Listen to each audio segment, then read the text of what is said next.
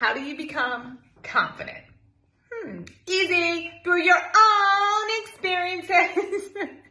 I'm sorry. No one, no one can do it for you. You have to do it for yourself through your own experiences.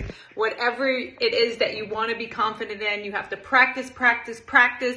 And yes, you may fail along the way, but the more you practice, the more you become more confident in what is you, you're doing because you come, become better.